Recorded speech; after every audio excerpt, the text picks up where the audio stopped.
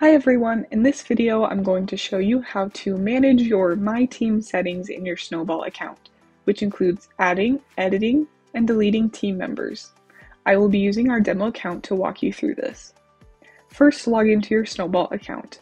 Then go ahead and click the person icon in the top right hand corner. Then click My Team. From here, scroll down to the Manage Team Members section. First, I'm going to show you how to add a new team member. In the top right hand corner of the Manage Team Members section, click Add a Team Member. First, go ahead and enter the name and email of this person. Perfect. Next, you have the opportunity to assign this person a role. You can assign them the role of an admin, reputation marketer, sales, or support. Underneath each role, you will see the features that they will have access to. Assign them the role according to their responsibilities.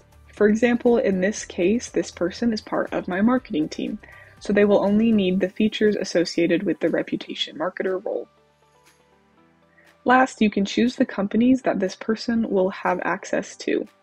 If you are over multiple companies, you will see multiple companies listed here. In this case, I will just select this one. Then click Create User.